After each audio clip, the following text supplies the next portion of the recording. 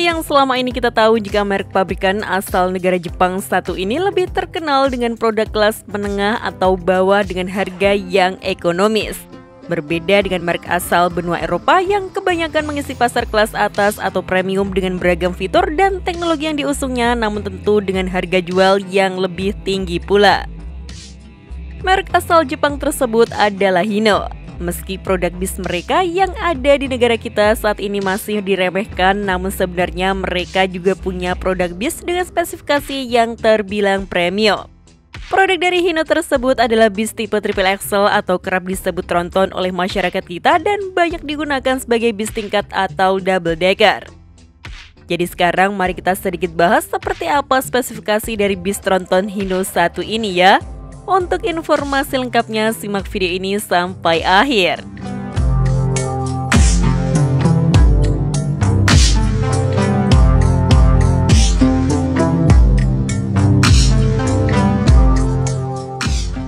Varian bis ini sendiri bernama Hino Grandview dan bisa dibilang bukan produk baru karena sudah hadir sejak tahun 1983 lalu. Grandview merupakan bis tingkat pertama yang diproduksi oleh Hino dan saat itu hanya dipasarkan di negara Jepang saja. Karena bisa dibilang era tahun 80-an dulu menjadi tahunnya transportasi bis negara Jepang. Hal ini karena permintaan penumpang akan kendaraan bis meningkat terlebih untuk sektor pariwisata. Melihat momen tersebut tentu membuat banyak pabrikan coba menghadirkan berbagai model dan ukuran kendaraan bis. Begitu juga dengan model bis tingkat seperti ini yang coba dirancang dan dibuat oleh Hino untuk memenuhi permintaan yang besar tadi. Bis ini sendiri memiliki kode model RY638AA yang secara resmi diproduksi massal 2 tahun kemudian yakni pada tahun 1985 lalu.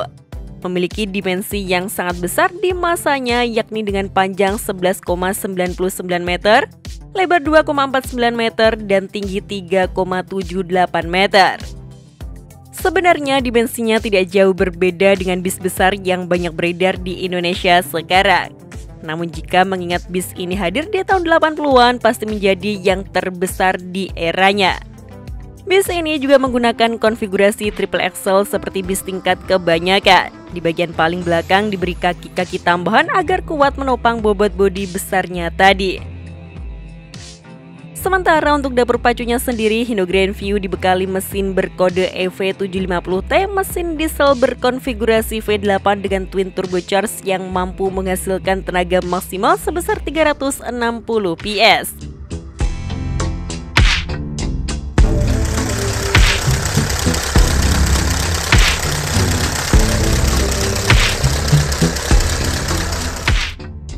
Pembeli pertama bis Hino Grandview sendiri merupakan perusahaan bernama Kinki Nippon Railway.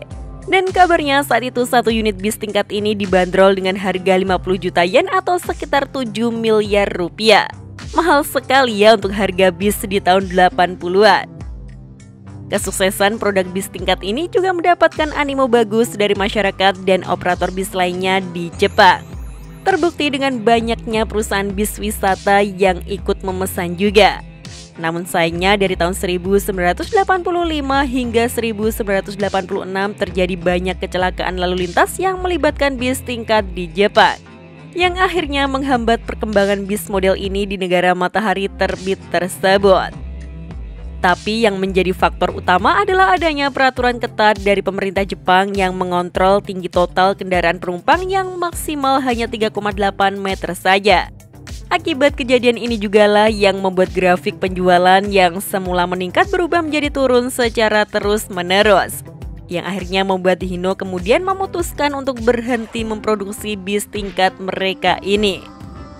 Bahkan hingga sekarang hanya bis Grandview sajalah yang menjadi produk bis tingkat dengan tiga sumber roda dari pabrikan Hino.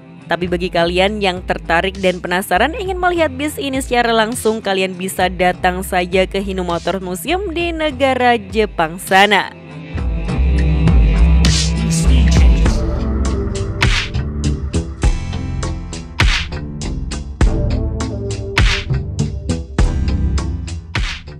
Entah mengapa Hino belum tertarik mengembangkan SAS bis seperti ini lagi bahkan untuk pasar mancanegaranya.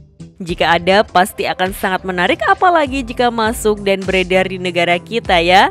Betul atau tidak? Tapi menurut kalian sendiri bagaimana mengenai bis Hino Grand View ini? Tulis pendapat kalian di kolom komentar. Sekian informasi dari kami, ke tombol subscribe bagi yang belum dan jangan lupa aktifkan loncengnya untuk mendapatkan notifikasi video terbaru dari kami. Terima kasih telah menonton dan maju terus dunia perbisaan Indonesia.